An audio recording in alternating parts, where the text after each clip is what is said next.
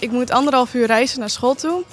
Een ledenlijn zou voor mij als student betekenen dat ik sneller op school kan zijn. Dus ja, de mensen moeten hier ook makkelijk uh, kunnen komen. Dus voor woningbouw en economie is het heel uh, belangrijk voor ons. Een, een lelielijn door de Noordoostpolder zou betekenen een goede ontsluiting van het openbaar vervoer in dit gebied. We kunnen dat niet alleen. Het gaat voor een deel door Noordoostpolder. Dus het is heel belangrijk dat je als uh, gemeenten langs de lelielijn en de provincies uh, heel goed samenwerkt. En ook gezamenlijk ook richting het Rijk ook aangeeft waarom het zo belangrijk is.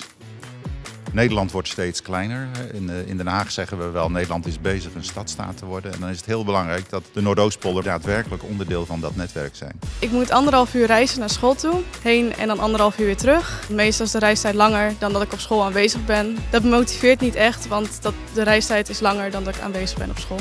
De lijn is groter dan de Noordoostpolder of zelfs het belang van Flevoland.